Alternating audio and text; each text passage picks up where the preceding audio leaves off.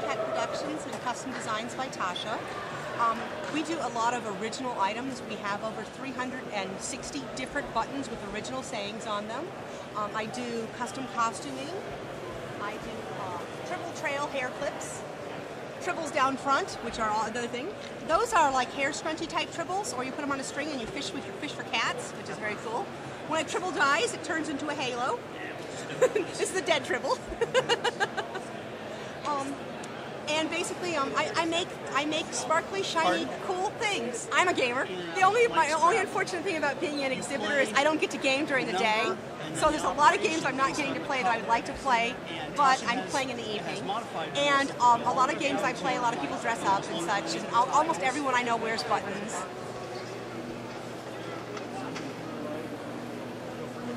We are It's a Gamers Thing. Uh, we sell fancy t-shirts and do custom printing. Um, additionally, we um, sell chainmail, dice bags, jewelry, um, miscellaneous gamer accessories.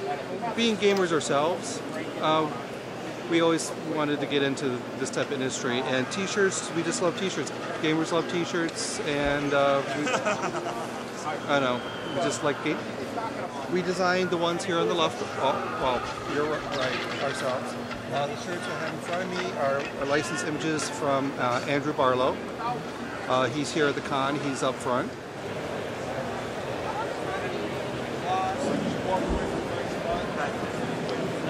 With Pegasus Publishing, we sell T-shirts. I'm the person running the booth currently. Uh, the owner is back in Texas. He's making more shirts for us. We sell, we make our, we make some of the shirts that we sell. We make some of the shirts we sell. We buy from other distributors.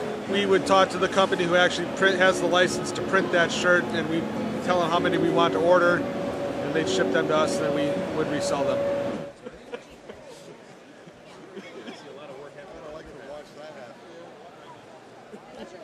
scorch marks underneath the seat.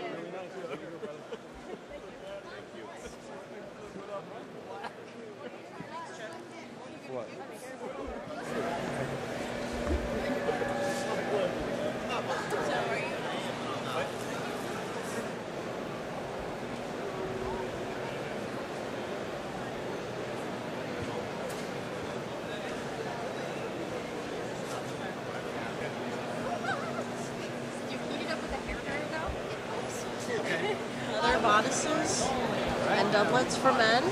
Um, we have different designs on them. And anything you can think of can be custom made and ordered. And we're also journeyman. We're journeyman leather. We're also pirate's treasure. We sell also the swords, weapons. They are real swords.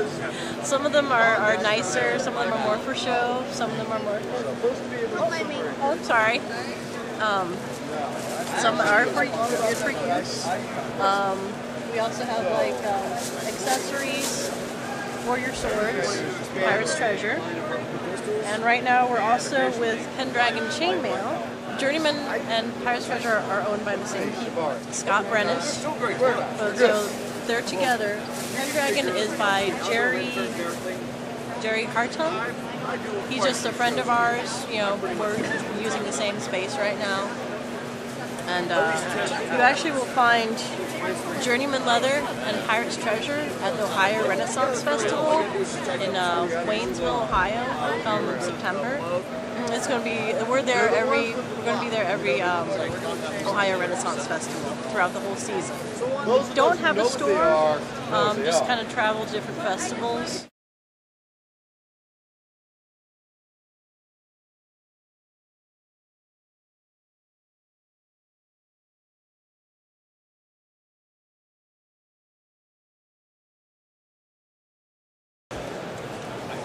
Oh, oh. What are you looking at?